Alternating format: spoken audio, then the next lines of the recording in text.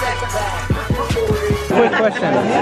Um, Floyd Mayweather Jr. only has two fights more left.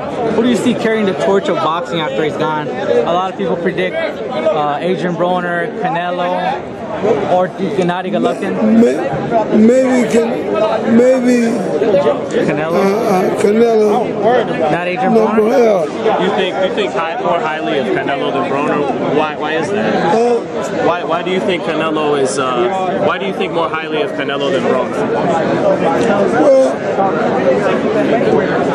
I don't want to. I don't want to misquote people in things, and people write stuff in papers, and then all of a sudden you come up with some kind of lawsuit.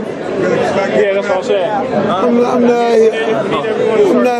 I'm not here for that. Got you. What about But I'm telling you that uh, it's, a lot, it's a lot of reason that it's a lot of reasons why I say that Canelo and Broner. what do you think of when they say that Adrien Broner is the next Mayweather? You think that's a little bit far fetched? It's far over the hill. Can you guys wrap it up? We gotta clear this area. Take a step